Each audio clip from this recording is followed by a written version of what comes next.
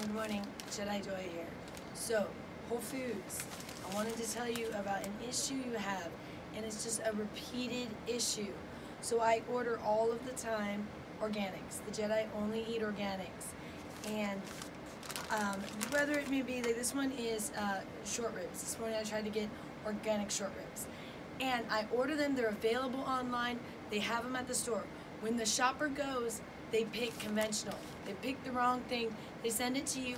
They don't even have the prices that match. What happens is they say, okay, how many pounds was it? 3.17. They punch that in as if you'd bought organic, since that's what you ordered. So even um, on my order, it was supposed to be like 30 something dollars, like 37 dollars, something like that. This only says 28 because organics are more expensive. So what they're doing is I'm ordering organics, they're sending me conventional, and they're charging me for organics. Now, I can get my money back, but here's the thing. I do get my money back, but because we don't eat this. But now Whole Foods loses $28 every time they make this mistake, and it happens daily if I order. I mean, it's like, eh, I mean, not daily, but I mean, that it's often enough. It's uh, several times a week. If I order, they will get it wrong. And Whole Foods is losing numerous amounts of conventional beef this way because people are ordering organic, getting conventional. They're not going to pay and keep conventional. Even if I ate conventional, I wouldn't pay organic price and then eat conventional. But I don't eat conventional. I only eat organic, so I have to give it to the neighbors, which is nice, but that's even irritating because people don't understand why you're giving away meat. They're like, I don't understand, and there's this coronavirus, so it's kind of weird, but I don't want it to go to waste. But so I have one neighbor that's kind of understands now, so they're okay with that. But a lot of people find it very weird right now. And I try to explain to me, eat organics, I can't eat this. They gave me my money back, but they are losing out on this. People are like, why would a store be losing out on $30 of meat, you know, several times a week? Um, I mean, it will probably happen daily if I order daily. It's, it's that bad of an issue. The shoppers do not know what they're buying.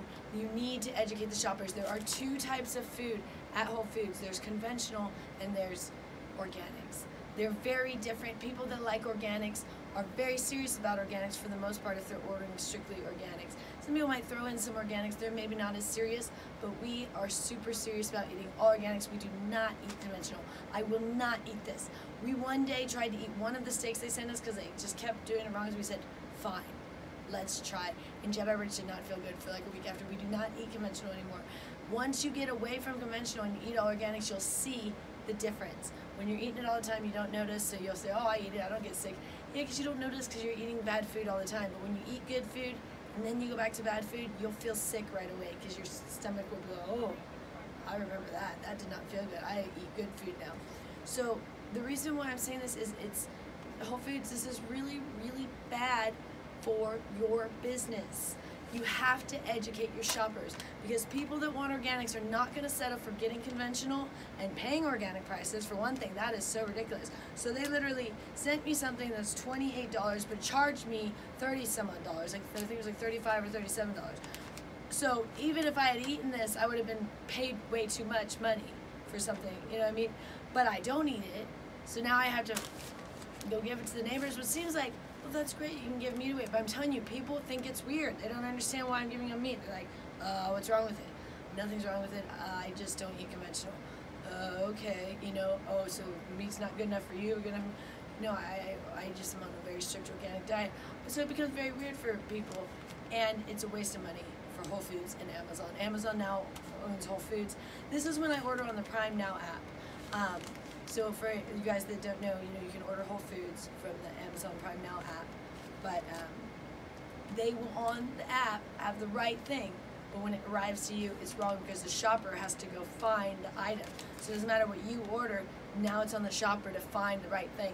And I've had the wrong things so many times. I mean, countless, count, almost every, almost every order has something wrong on some level, whether it be uh, the meat or um, they put, uh, they don't deliver the right amount of Gerolsteiners or they don't let me order Gerolsteiners.